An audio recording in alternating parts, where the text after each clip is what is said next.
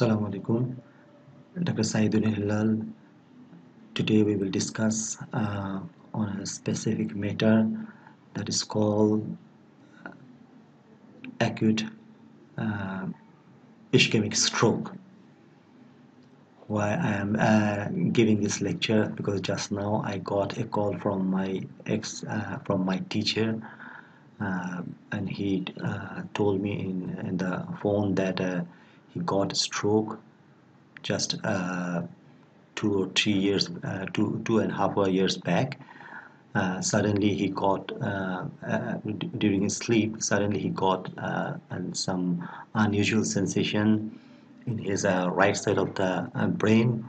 In the morning time when he wake up he saw his left side was weak so just I after uh, getting this uh, phone uh, I decided to make a presentation on this matter. So this is a 68 years old male acute left-sided weakness. And uh, in your uh, emergency room or in your chamber you can get this type of um, history uh, this type of patient um, so many so let's move and let's go to uh, talk on these things. Whenever we get uh, the history that uh, left-sided weakness and it is acute it means suddenly it clicks on our head that it should be a stroke. But beside the stroke it can be some other diseases also.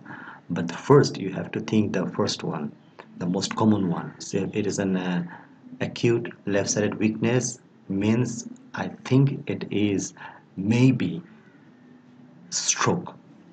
So let's go to see uh, what what what is happening when there is a stroke. See some mri so when you get uh, this type of uh, patient just give an mri write down in the prescription advice mri of the brain. In bracket you must write out that uh, DWI diffusion weighted image. This is very important to uh, to see just acute ischemic stroke. If there is a uh, possibility of the hemorrhage no need to give the uh, MRI because uh, MRI is a little bit costly than the CT scan. And at that time you can give the CT scan uh, of the brain because in the CT scan of the brain you can see the blood very good but uh, MRI is always superior to the CT scan uh, regardless of it is uh, whether it is a um, ischemic stroke or whether it's an hemorrhagic stroke. But when you're thinking uh, that uh, it is an ischemic stroke please give MRI of the brain and uh, you must write the DWI diffusion weighted image. I will show these things what can you see in the diffusion weighted image and the t1 image and the t2 image. Here you can see this the middle image. It is an uh, t1 image and it's a t1 image. You can see the csf is black. And here you can see this is the pons how can you understand this is the pons in this type of section if you see the the big hole big hole this is a big hole then you can understand this is actually the fourth ventricle. Because in front of the cerebellum there is a fourth ventricle space and in front of the fourth ventricle you can find the pons in the lateral view. So in this image you can find if the hole is bigger then in front of the bigger hole the structure is pons when you go upwards you can find the aperture become narrower. So in front of the that narrow aperture you can find another structure that is not pons that is uh, midbrain. When you go downwards for the fourth ventricle the mm, aperture become narrower again narrower and that time you can see in front of the uh, narrow uh, space. You can find another structure that is not also the pons that is the midbrain and that, and that is the medulla so when you are getting the bigger hole and in front of the bigger hole you can find the structure. It is named the pons and the pons you can see the pons we know the structure of the pons if there is a midline of the pons and this is the left side of the pons and this is the right side of the pons just opposite of your brain opposite of your hands. Uh, so this is the left side this is the right side. And this is hypodense area little bit hypodense area. But it's very difficult to understand whether it is an ischemia or something else. So for that reason we can do another type of MRI that is called T2 image. And in the T2 image you can find uh, the CSF uh, is white. You can see the fluid it's white. You can see here the fluid is uh, white and black. So in the so in the, in the T2 uh, in the T2 image you can find this is a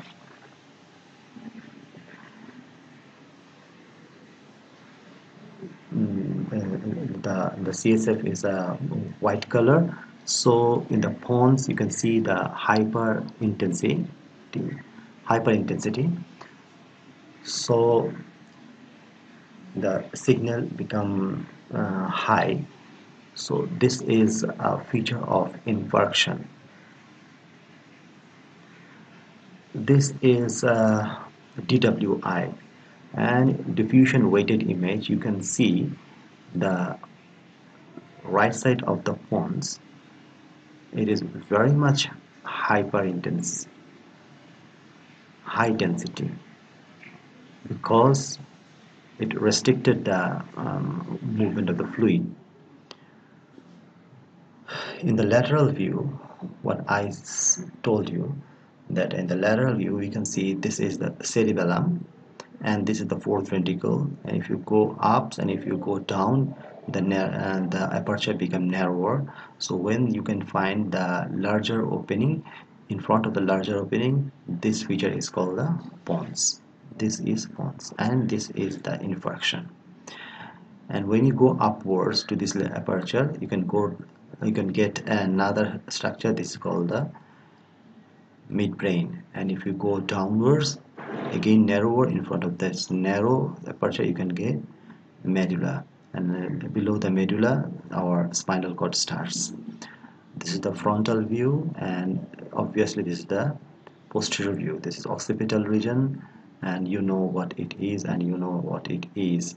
I'm not discussing much more about these things. Our focus is on the pons area. So when you see this type of uh, picture the white area you can understand in, our MRI language we can say the hyper intensity high signal or hyper hyper density so this uh, this reflects the feature of ischemia or infarction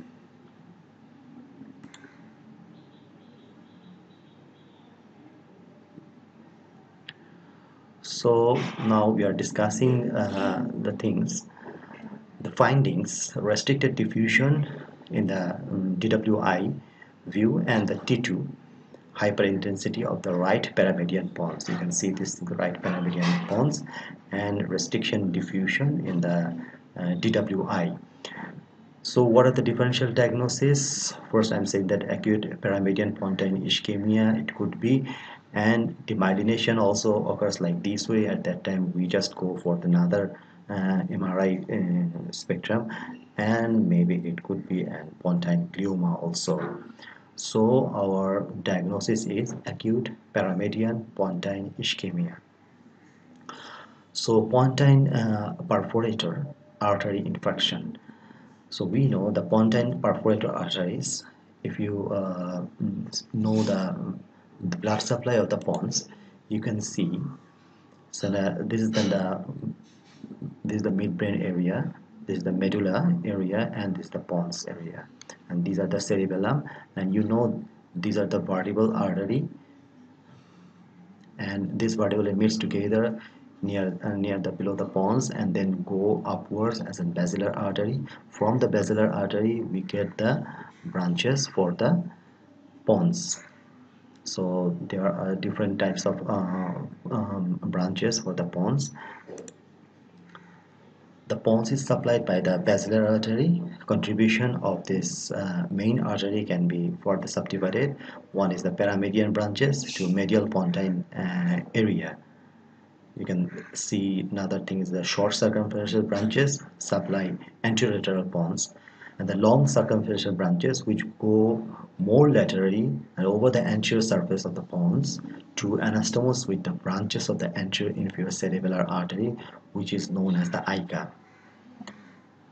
So if you see this area, so look at this, this um, brownish area, uh, purple area uh, this is supplied by the basilar artery paramedian branches usually uh, it is penetrating uh, branches.